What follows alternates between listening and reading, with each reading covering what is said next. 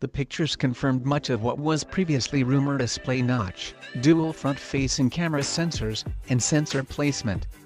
The leak also revealed some previously unconfirmed, but largely unsurprising, information here a model with 4GB RAM and 128GB of storage and it features the Qualcomm Snapdragon 845 system on chip.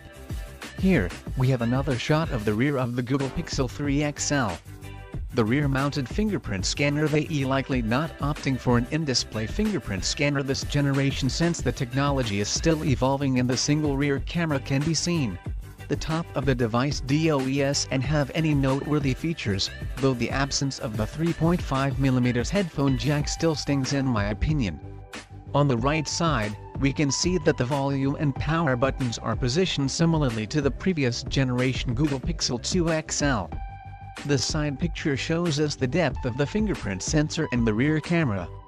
The Google Pixel 3 XL rear camera protrudes a bit from the back T not unlike the current Google Pixel phones, but even with Gorilla Glass some of you may feel anxious and opt for a protective case.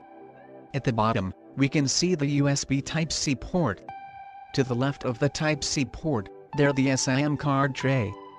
On the Google Pixel 2 XL, the SIM card tray was on the left-hand side of the device.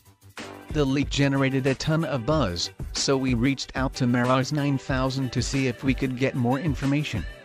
He has graciously provided us with more real-life pictures of the Google Pixel 3 XL codenamed crosshatch and has confirmed one point of frequent speculation, it has a glass back. While we can confirm if the Pixel 3 XL has wireless charging support, that it does have a glass back bodes well for those hoping for the feature to be available.